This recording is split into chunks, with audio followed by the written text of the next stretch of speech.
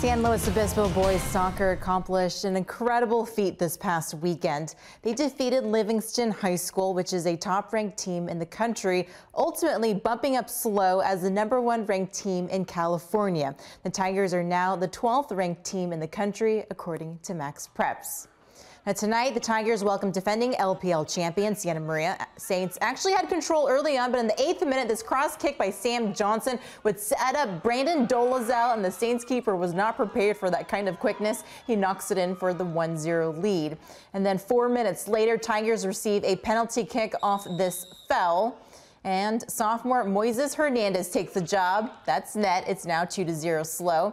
And we're still in the first half. Diego Albaran brings it up to Dolezal with two defenders on him. He knocks in his second goal of the night. I think the, the Saints didn't think he'd be able to make the right kick on the left side. It's now 3 to 0 San Luis. Eventually, the Saints add in two goals in the second half, including this shot here. But SLO hangs on to the lead and they win it 3 to 2. The Tigers are now 7 0 on the season. I think it's great. I mean, I don't think we've I don't think we've ever had a good run like this in the beginning of the season. So I think it's good for our confidence going into the league. As much as we don't want to talk about it, um, it's out there. I mean, people in the in community know. So we're we're gonna tell the boys that's an honor, and, and you know they need to not only they've earned it, but now they need to you know show that we are we are deserving of that ranking. SLO's next game will be against De La Salle on the 29th.